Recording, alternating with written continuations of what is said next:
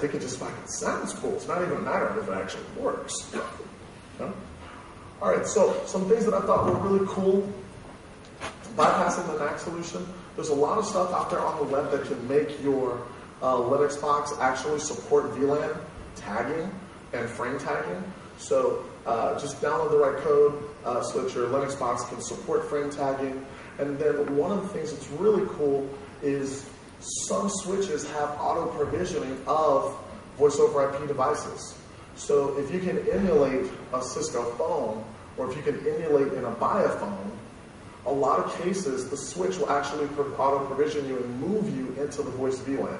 So bypassing NAC solutions, this is great. If I could plug in and I could get myself moved automatically into the voice VLAN.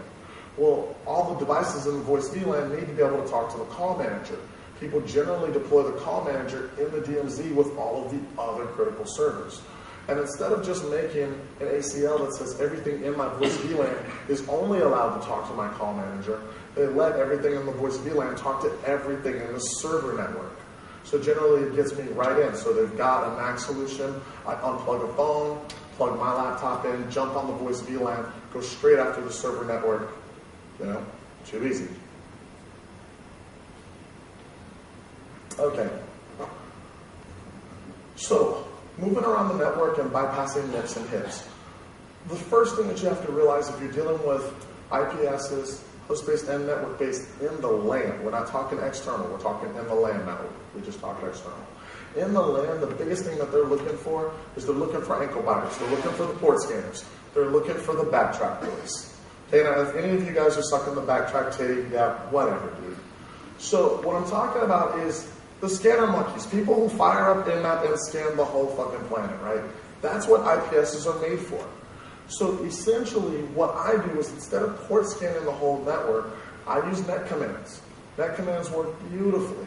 Okay, it's the functional equivalent of browser network neighborhood, right? So you plug in, try all your net commands, figure out where all the machines are, figure out, now bear in mind, yes, I realize this only works for Windows-based machines and machines running Samba, but there's some stuff we can do for the Linux host as well. But figuring out who's in what domains, who's in what groups is usually the biggest component for me. And then mapping the network uh, via net commands really is how I do the bulk of my internal pen testing now. So when I'm in Metasploit, you'll constantly see me flipping back and forth. I use uh, get system, escalate to system, do my thing, uh, disable hips or whatever it is I have to do, uh, hit rev to self, bounce back to a regular user, do my net commands, use pass the hash, jump from box to box. Escalate the system, do whatever I have to do, to self, back to a regular user, use my net commands, move from box to box. Okay, so it's really the kind of methodology that I'm taking when I'm in the LAN.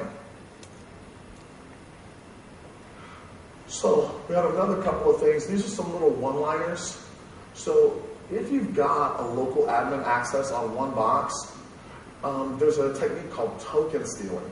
So what happens is you can log into a box, and if a domain admin has logged into this box before, and the box hasn't been rebooted, you can steal his token. So what these are, these are like four or five different little one-liners that you can use to figure out where these domain users are logged into. So what you can do is you can go do your net commands, figure out who these domain users are, and which people are in the admin groups and the help desk groups and the sysadmin groups and all that. And now I can use these commands to go sweep the network and figure out where those logged in users are. So I'm looking for these five or six usernames. I'll write these little one-liners, or I'll put them in like a little batch file or VBS script, and I'll go find out where those logged in users are. I'll use pass the hash, I'll log into that box, and then I'll escalate privileges and become domain admin. So it doesn't take long, guys. Okay, so this is moving around the network. This is the pass the hash technique I was talking about. You just throw a ps exec shell, and you can take your stolen password hash, and you can just log in with this. Okay, so I ran into um, McAfee hips. Uh, so they had EPO, they had hips, and uh, this thing was such a pain in the ass. So how many of you guys been on a pen test, you, you try to kill the antivirus and the hips, and it keeps respawning?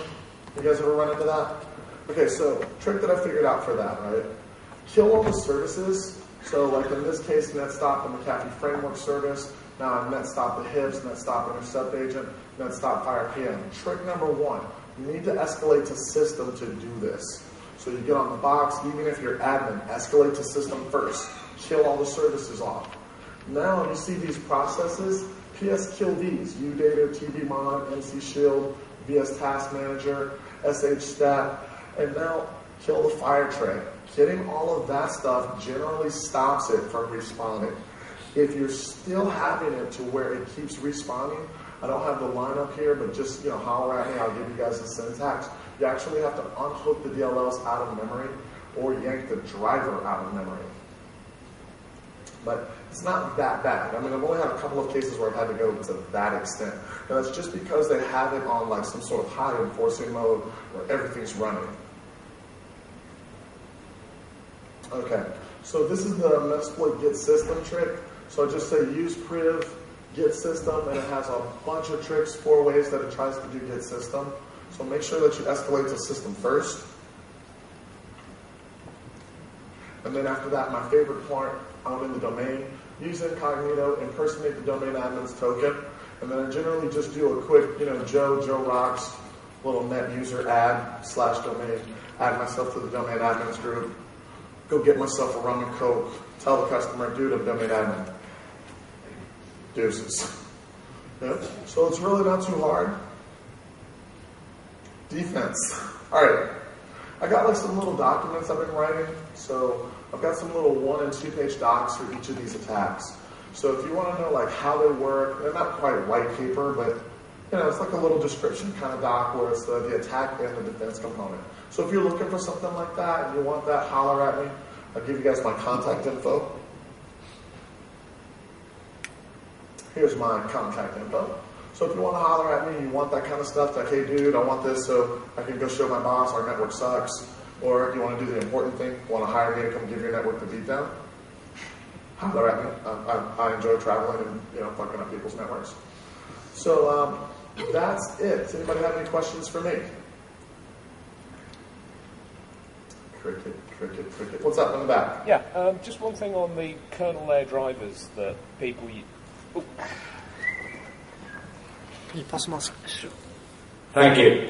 Uh, just one thing on the kernel layer drivers and uh, uh, getting those out. How do you deal with a system that, if you stop running that in memory, blue screens the system? Um, is, are there any ways around that that you see that you could use to kill off hits antivirus and these respawning processes.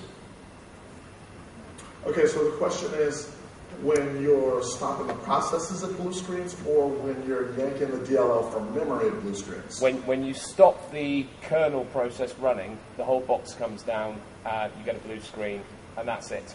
Okay, so he's saying when you stop the kernel process. Uh, generally, I don't stop the actual kernel process. I kill the processes related to the, uh, the hips itself. So I don't stop the whole kernel unless I'm misunderstanding what you're saying. Are you um, just saying removing that DLL from memory causes it to blue screen? Is that what you're saying?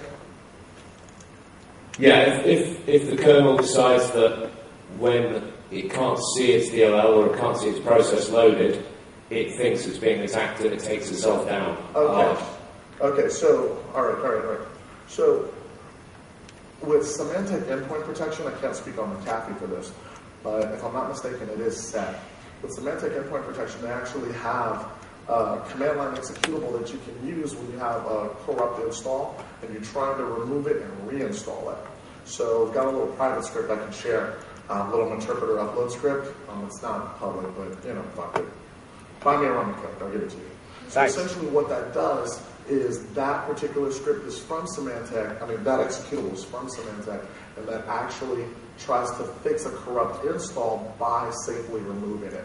So what we do is we just write a little interpreter script that uploads that exe and calls that. So what I would say is, um, in either case, against Symantec or against McAfee, try to find the uninstall guides, and the uninstall guides is actually where I got that syntax to do all of that. So I just found the uninstall guides and how to remove it from the registry and how to unhook those drivers. So what you're looking for is a troubleshooting guide that shows you how to deal with a corrupt install. That was how I learned it.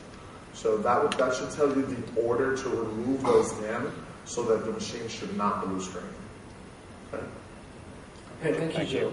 Any other questions? Uh, it's time for the break because we're running a little bit late. So uh, let's just hoo- hook up with you in the lounge if there are any further questions. All right. So thank you everybody for uh,